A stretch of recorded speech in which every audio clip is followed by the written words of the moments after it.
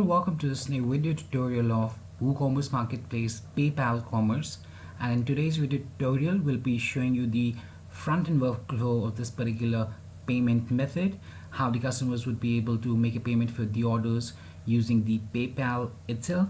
Apart from that we'll also be showing you the seller end configuration how the sellers would be able to set up their uh, PayPal and how they can accept the payments using the same and uh, lastly we'll also be showing you the module configuration basically that is required for this particular plugin to work and how the admin can enable this and set up uh, the marketplace PayPal commerce itself and uh, we'll also be showing you how to create the API credentials that are required for the PayPal commerce and how they can then be basically added in the module configuration settings in the admin backend panel.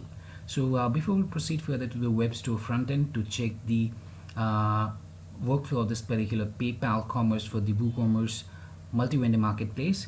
So uh, before that, let me give a small brief about this uh, plugin itself. So uh, basically this plugin allows the WooCommerce multi-vendor store owners to integrate the marketplace PayPal commerce payment method within their stores.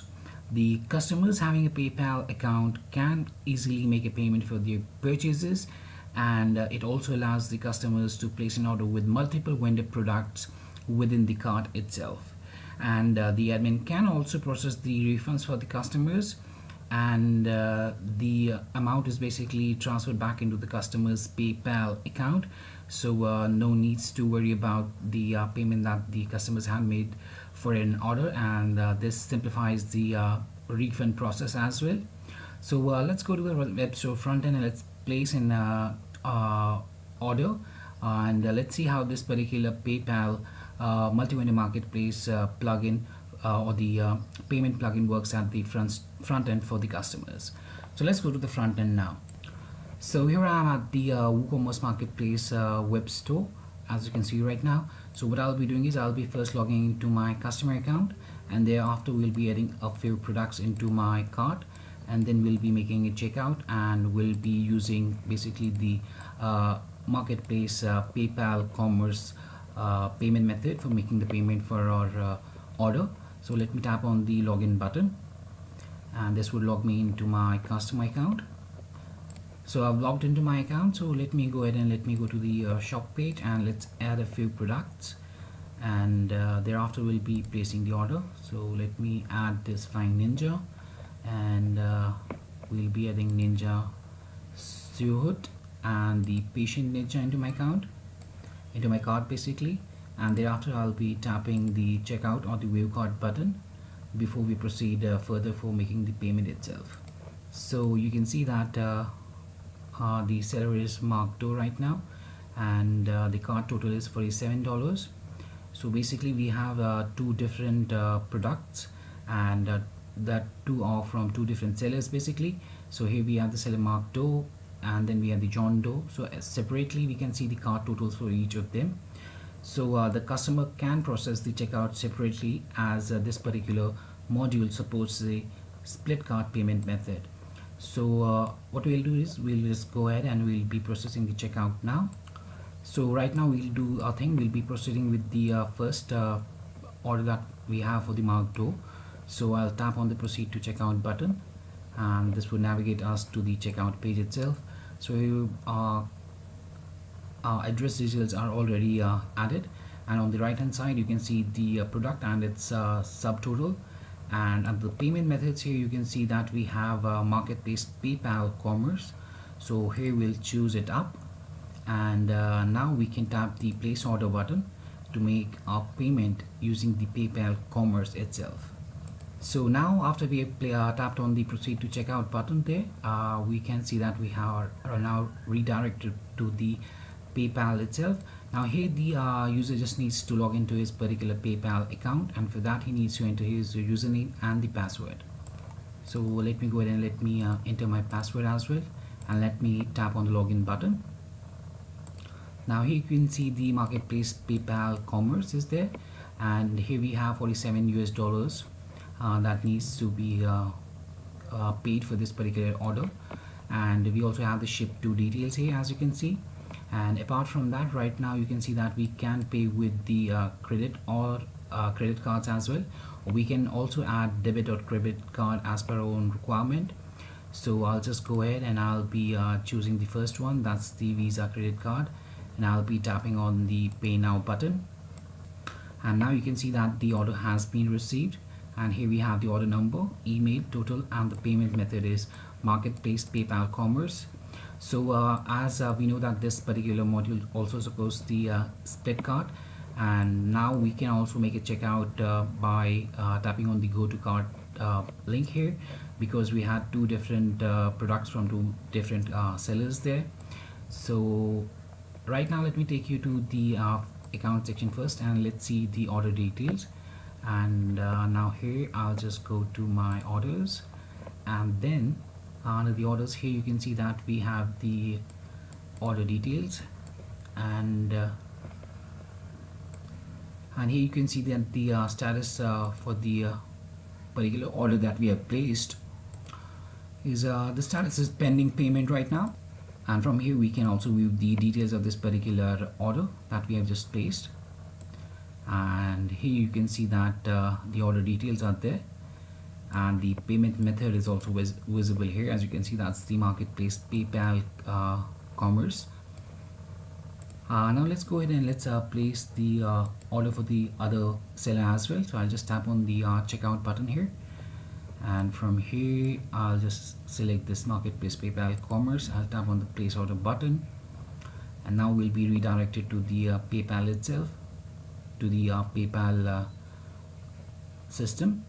And here you can see that we have the marketplace PayPal commerce. Uh, the amount to be paid is $20 and let me go ahead and let me tap on the pay now button.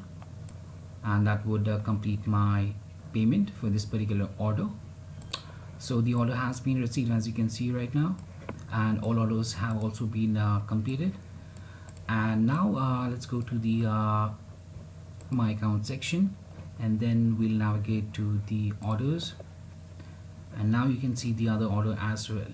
So here's the order 236 pending payment for uh, $47 and then we have uh, June 2 and uh, the total was $20 and it's uh, the state of this particular order is right now as processing. So uh, here we can also tap on the pay button to complete the payment uh, pending payment that you can see and here I'll select the marketplace PayPal commerce and I'll tap on the pay for the order. So it's within the uh, checkout there. And now uh, on the uh, PayPal end we'll just tap on the pay now button to complete the uh, payment for this uh, particular product as well. So uh, actually while I was making that checkout there I just forgot to select that particular one. So alright now let me go to the uh, my account section. And there I'll just go to the orders. And at the orders we can now see that uh, alright so we're done with the payment here. Now uh, let me take you to the admin backend panel and uh, let me show you these uh, particular uh, orders that we have just placed. So the customer just placed those orders. Now let's go to the backend and let's see how the admin would be able to check these particular orders so here I'm at the backend I'll tap on the login button to uh, access the admin account for the WooCommerce Marketplace uh, web store. So as soon as I've logged in I can see my dashboard. And from here I need to go to WooCommerce and then tap on the orders sub menu option. And that brings up the complete list of orders that have just been placed. So here you can see that uh, we have order number 236 and 239 and the uh, status is processing and pending payment right now. And uh, also let me uh, tell you that uh, this uh, particular plugin also uh, allows us to have a disbursement mode and wherein the module provides two different disbursement modes that can be used by the admin in order to share the payment amongst the seller and the admin itself. And the two modes are instant and delayed. And within the instant uh, if the admin selects the disbursement method as instant then the payment will get transferred to the sellers and the admin just after the order has been placed. And after the uh, completion of the order the seller would also be able to see the transaction on their PayPal account. And in the delayed one uh, if the admin selects the disbursement mode as delayed then the payment would get holded at PayPal end after that uh, the admin will release the amount and it will get transferred to the seller and the commission would then be transferred to the admin's account. So uh, basically this was uh, how uh, the customer can basically place the orders using the marketplace PayPal commerce uh, there. And now uh, uh, what we'll do is we'll be logging into the seller account and let's see how the sellers would be able to configure the the PayPal payment account from their account panel so now I'll be logging into my seller account and I'll just tap on the log login button after ending, entering my vendor details. So after I've logged into my account here uh, you can see on the left hand side we have the marketplace uh, dashboard. And uh, and thereafter we uh, navigate through the seller's profile and uh, for that I'll just tap on the seller profile uh, link here on the left hand side and this brings up the uh, profile section of the seller itself. And here at the end we need to set up the marketplace PayPal commerce details. And here we'll be entering uh, the PayPal commerce ID and after that we just need to tap on the update button to save the changes. And uh, that would basically uh, connect our account to this particular app at the PayPal itself. So uh, finally after that the uh, after setting this up the sellers would be able to receive the payments using the marketplace PayPal commerce. So now let's go to the admin backend uh, panel and let's see what different uh, configuration options are there for the admin to configure. And uh, for that let me take you to the admin backend panel now. So I'll just log into my admin backend panel. And uh, thereafter I'll navigate to WooCommerce and uh, then we'll tap on the settings submenu option and that would take us to the uh, backend configuration for this uh, particular plugin.